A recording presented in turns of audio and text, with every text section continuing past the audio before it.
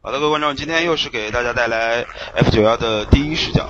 呃，这张地图是又是安提加新港啊，这边他在韩服随到一个人族选手，人族选手。这边九幺，呃，之前呀有个人还冒充他，对吧？冒充他，但是好像分数比他高，在韩现在排进的宗师抢嘞，前两百。你有什么想法？没有，这个这个人应该是嗯一个我的朋友吧。他冒充我就证明一件事情，他认可我的实力。不是你的朋友，你的朋友比你强很多，这个你不要不要别人认识你就是你的朋友，好吧？其实没你说比我强很多，这个我不承认的好吧？差不多，我觉得真的差不多。宗师前二十，你能打进去吗？拼一枪的话，我觉得可以打，真可以打。你看，就是没有信心啊！这边要要跟这个韩国的一个选手，呃，拼这个实力。但是这边他既然也用九幺的这个号去打，就是名字去打的话，应该说他还是想，可能是想保留实力，可能是一个职业选手。这边我们也不太清楚他是谁啊。当然，这个正牌的九幺现在还排在大师组的前几名，还在奋力的拼搏。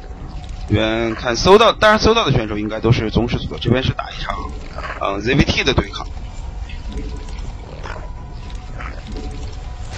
ZVT 这边我们看看要怎么样开局啊？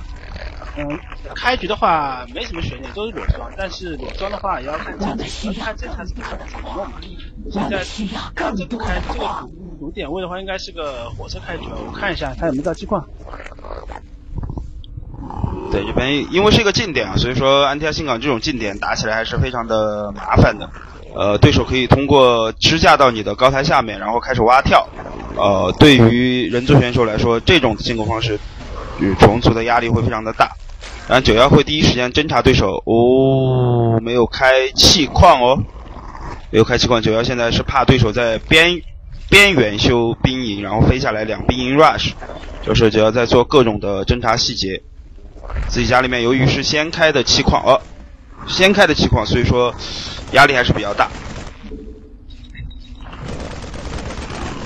不知道对手是单兵双基地，还是选择的选择的这个开局。当然，这个房子可能要死，因为外面可能还会追一个机枪出来。这样的话，这个房子的走位确实是有一定的问题。嗯，这这是没办法，这个地方如果你防停在这儿的话，还是会被机枪给打死。所以说你要看他是否开了二期的话，必须要胜。啊，这边九幺看来也是想好了，第一时间是送一个房子去侦查对手。其实前期重组损失一个房子还是有所损伤的。但这样的话，我看人族的接这个机枪的速度啊。至少不是一个摆明了的双兵，有可能在家里面会隐藏自己的战术意图，但是具体是什么战术意图我们还不太清楚。九幺后续会怎么样打？我们需要更多的矿物。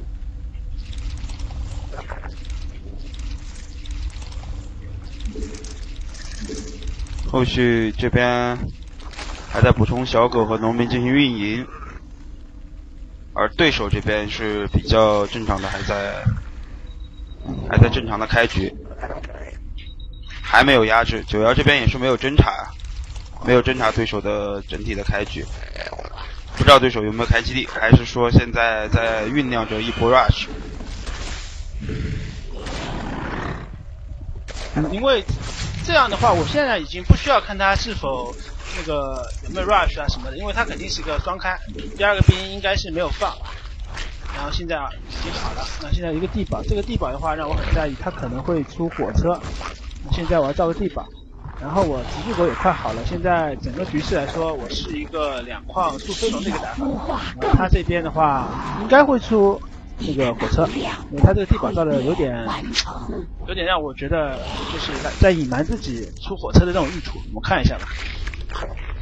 啊，九幺这边是开始侦查，侦查一下对手，因为一个地堡，对手显然是一个防守型的开局。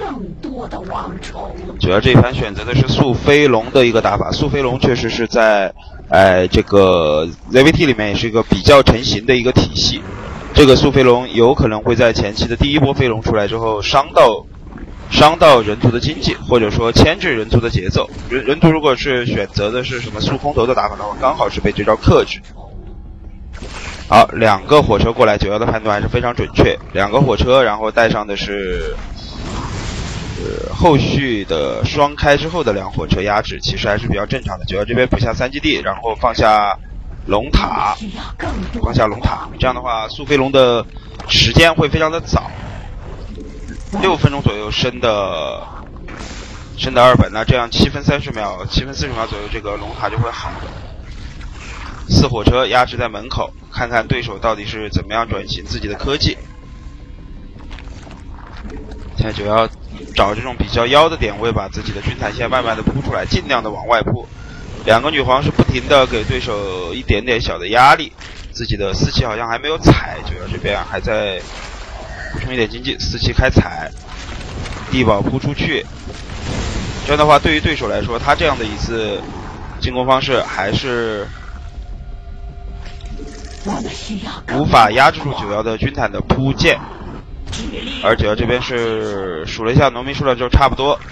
我抱了一波小狗，要把这波有六个火车这边断杆压了。对手火车爆的还是挺多的，想强烧。地毯结果没有烧到，哎，对手这里有点失误。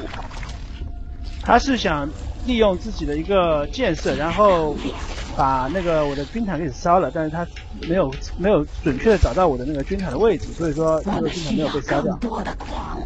好，现在九幺速飞龙已经是有六七条飞龙在造了，对手的一波压制，哇，机枪。机枪带火车的这波压制，其实对于九幺来说还是有一定压力的。蛙跳，原来是蛙跳，蛙跳的话这样还好一点，因为飞龙马上出来了，飞龙配合着小狗守这波蛙跳，有可能刚好撞到对手，刚好吃掉对手。对手这边要强上的话，损失会很大，把运输机先点了，运输机点了，哇，这边还是有损失。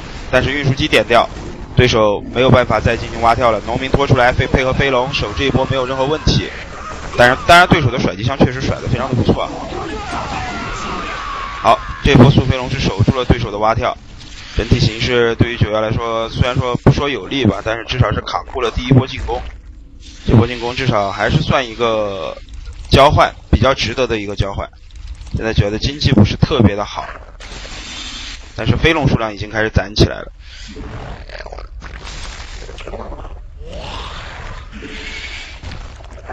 军坦继续的往外扑，飞龙现在看能占到什么便宜。飞龙往里走，哦，运输机也没偷到，当然这能偷到这个运输机就等于是中奖了，所以说这根本无所谓。来看看，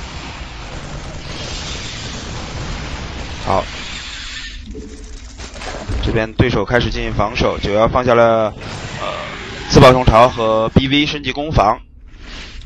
必须放置在军场上。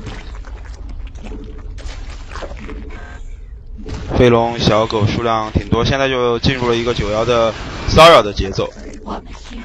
当然，由于这两个点位，所以说九幺在现在的上面还并不至于说占据比较明显的优势。只是说占据了一个比赛的先手，只要怕对手空投，在家里面放了一个放了一个地堡，对手的第二波压制压得很凶啊！这一波压制，主要现在是在家里面外面变点毒爆，然后是用飞龙压制住偷坦克，这个偷坦克偷得很好，偷得很好，偷掉一个坦克，对手现在是推不动了，这波兵可能要送在这里。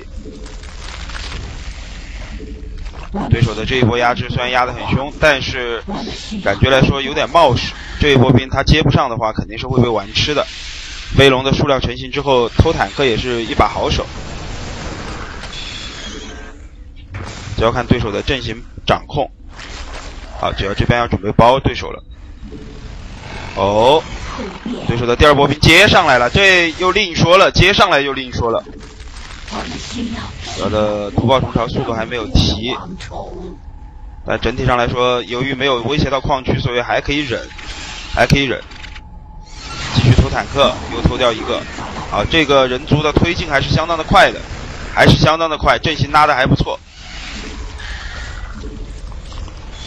给九幺还是比较大的压力。九幺继续想偷，继续想有什么用飞龙有什么偷什么，截后援，截掉后援，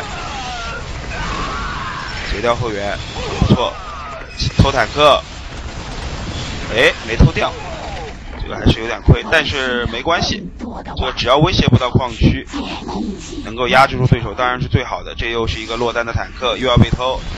这个坦克，看看整体上来说，对手的坦克已经被偷的挺多了，而自己的九幺的矿打掉了，但是这片矿本来也没有开采，所以说还可以忍。现在继续的想找机会把坦克偷了，只要在憋到了一百五十多人口之后，可能要一波正面 A 出去了，还在等毒爆的速度，还在等毒爆的速度。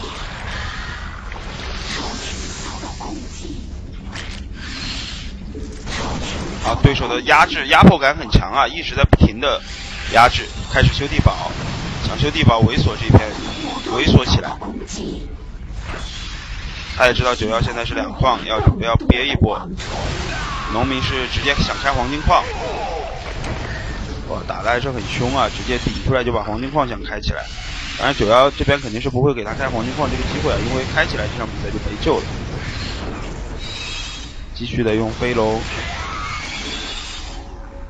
用飞龙不停的绕，但是对手的兵确实很多，九幺要盲目冲击的话，可能会可能会造成比较大的麻烦，因为毒爆的速度依旧没好，坦克一炮是炸掉了大量的毒爆，后续后续后续，这个兵很多，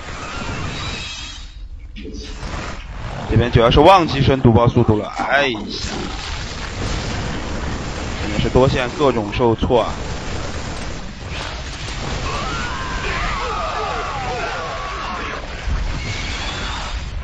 现在对于九幺来说，黄金矿顶起来之后，基本上这场比赛进入一个大连期。胜负手其实就是在于刚才的第一波被对手把兵合上了，这一波如果对手没有合上的话，其实整场比赛九幺还是非常有机会获胜的。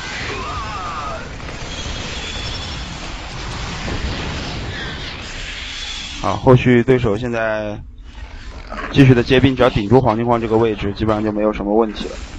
看九幺怎么样选择这后面的一个打法，当然我觉得这后面其实怎么样选都不好打，因为第一波冲击是被对手完美的扛住，想用虫洞，九幺想用虫洞换家了，这是摆出最后一搏的一个架势，因为要断对手的这个出兵点，这个是必须要断，如果断不了的话，这场比赛将非常的难打。坦克继续偷，继续偷坦克。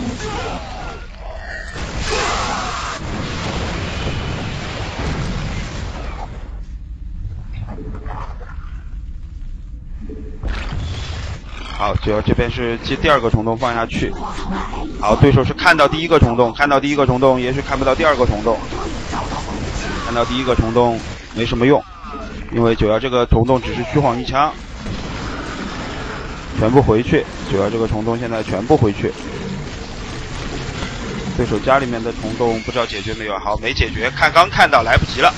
对手家里面被一个双线虫洞是打乱了节奏。部队遭到攻击。现在飞龙想偷东西，但是偷不到啊。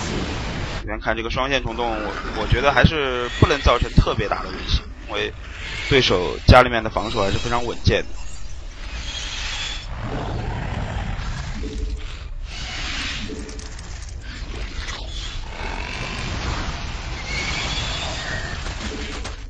然，后后续现在对手依旧是压住这片黄金矿。由于这个安迪亚新港这个出生点位，所以说只要无论想尽任何的办法，也是无法冲开这片黄金矿。黄金矿扩大优势的能力实在是太强。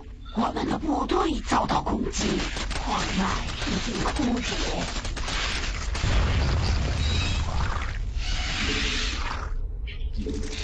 我们的部队遭到攻击。现在对手是压了一波兵，九幺是绕了一波兵，想继续换家，想继续换家，这个也是没有办法的办法。对手也准备跟他换家，这边小狗全部冲了出去，但是相信以对手这个人数的防守的话，这一波造不成太大的威胁。好了，九幺打出奇迹。这一盘比赛这个人族打得相当的稳健啊。嗯，这场比赛那个人族的确让我眼前一亮，的确他的那个开始的不管是操作还是运营都很不错。嗯，这场输主要输在那个他那第二第二波压出来的时候，我并没有很果断的去把它包掉，而且我的那个毒爆虫速度一直忘忘记升级，这这是很关键的。嗯，其实这个人族的话，我觉得应该是在宗师排名前一百的吧。嗯，好的，这一次也是感谢九幺跟我们一起录制这样一场 VOD，谢谢大家收看。